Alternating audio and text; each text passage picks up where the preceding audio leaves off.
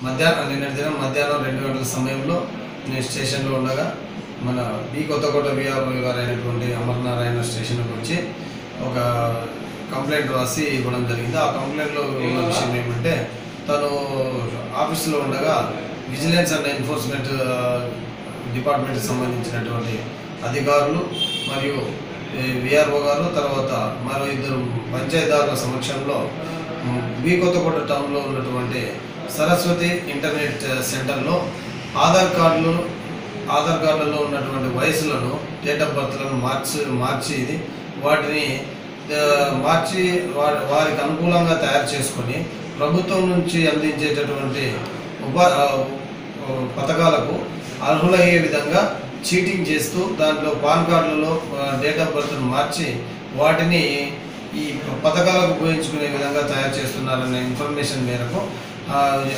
VRO అపరనారాయణ మరియు vigilance అధికారులు వెళ్ళి ఆ సరస్వతి ఇంటర్నెట్ సెంటర్ను తనిఖీ చేయగా అతని వద్ద మొత్తం తొంభై ఈ ఆధార్ కార్డు పాన్ కార్డుకు సంబంధించినటువంటి అప్లికేషన్స్ మరియు రెండు సిపియులు మరియు రెండు సీళ్ళు అంటే ఒక స్కూల్కి సంబంధించినటువంటి సీలు మరియు అతని సిఎస్సికి సంబంధించిన సీలు అంటే ఈ సీల్ని ఏం చేస్తారంటే వీళ్ళు వాళ్ళ యొక్క డేట్ ఆఫ్ బర్త్ సర్టిఫికేట్లో మార్చడం కోసం ఈ సీల్లో వాళ్ళు ముందు డేట్ ఆఫ్ బర్త్ వేసుకొని ఆ సీల్ దానికి తగ్గట్టుగా సంతకం పెట్టుకొని ఆ దాని ఆ సర్టిఫికేట్ని బేస్ చేసుకొని ఆన్లైన్ చేసి ఆ డేట్ ఆఫ్ బర్త్ను పాన్ కార్డులో ఫస్ట్ చేంజ్ చేస్తారు.